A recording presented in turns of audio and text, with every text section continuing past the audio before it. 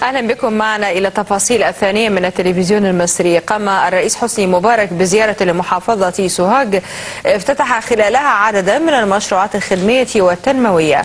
وسلم عقود تمليك الوحدات السكنية للمستفيدين من وحدات قرى الظهير الصحراوي الجديدة. وفي كلمته أشاد اللواء محسن النعماني محافظ سوهاج بالدعم الذي يوليه الرئيس مبارك لمحافظة مصر.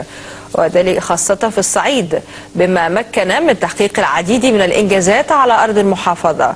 ومنها طريق الصعيد البحر الأحمر ومطار سوهاج الدولي وقرى الظهير الصحراوي.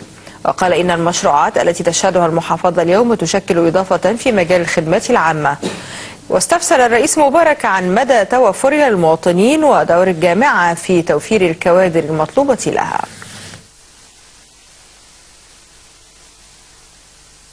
المية والإمكانيات في الشرق موجوده وكله ولا في الموقع الجديد سعادتك إحنا عملنا دلوقتي الهيئة هيئة المجتمعات العمرانية وصلت لنا المية عن طريق محطة قرية الكوامل بينقل سعادتك من النيل من المنشاه لمحطة في الكوامل للجامعة وتم توصيل خط المية.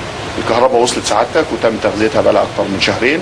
الصرف الصحي إحنا عندنا محطة داخلية مؤقتة وسياده الوزير لسه كان بيكلمني سيادتك قبل ما توصل في مشروع دلوقتي للصرف الصحي لمدينه سوهاج الجديدة والجامعة وبعض القرى الملاصقة لل وسيادتك الفايدة م... الله يخليك متشكرين الفايدة مشتركة للهيئة لأن طبعا وجود الجامعة جنب المدينة الجديدة بيرفع قيمة الأراضي في المدينة الجديدة فاحنا الدعم يعني آه وبيشجع يعني.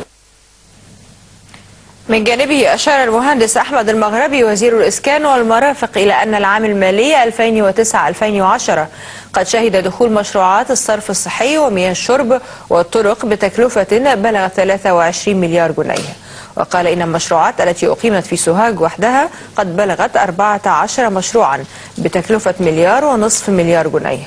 وقال المغربي إن 45 مشروع للصرف الصحي بالقرى سوف تفتتح اليوم بعدة محافظات بالتزامن مع افتتاح الرئيس مبارك لمشروعات سوهاج. ثم قام السيد الرئيس بإعطاء إشارة البدء لافتتاح محطة جرجا للصرف الصحي بطاقة 130 ألف متر مكعب يوميا وبتكلفة 250 مليون جنيه.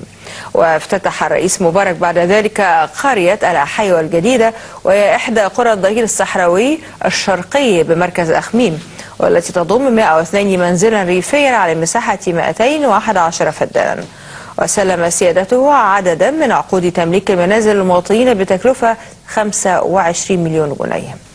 كما افتتح الرئيس مبارك المبنى الجديد لمركز علاج الأورام بمدينة مبارك الطبية وأشار الدكتور حاتم الجبلي وزير الصحة إلى أن طاقة المبنى الجديد 70 سرير وبتكلفة 80 مليون جنيه إلى جانب 96 سريرا قامت بالفعل بالمبنى القديم.